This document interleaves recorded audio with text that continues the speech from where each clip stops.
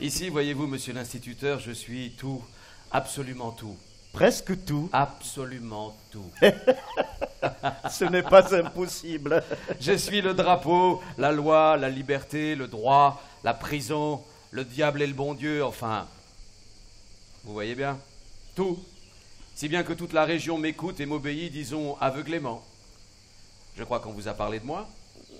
Pas pour ainsi dire. Oh, quel malheur. Vous avez perdu beaucoup de temps parce que vous aussi, vous aurez à m'obéir.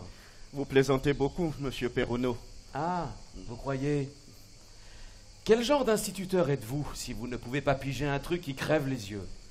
Je n'ai pas de chance. Pardon? Je viens de trop loin pour ne pas devoir vous dire. D'où venez-vous au juste? Ah, monsieur, Vous ne savez même pas d'où vous sortez? Je sortais. D'où voulez-vous qu'un homme qu'on a toujours grignoté sorte, sinon du fond de son odeur Vous me distrayez, instituteur.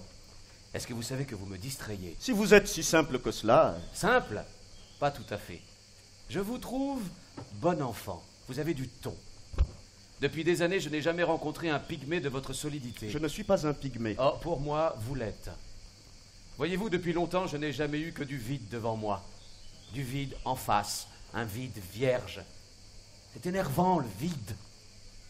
Vous êtes le seul qui allait m'obéir parce que je commande. Les autres, nom de Dieu, c'est de la foutaise. Ils obéissent par paresse. Vous, je vous fête.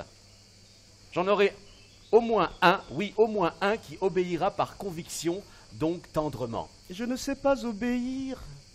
Rassurez-vous, vous apprendrez, et c'est là que ça devient séduisant.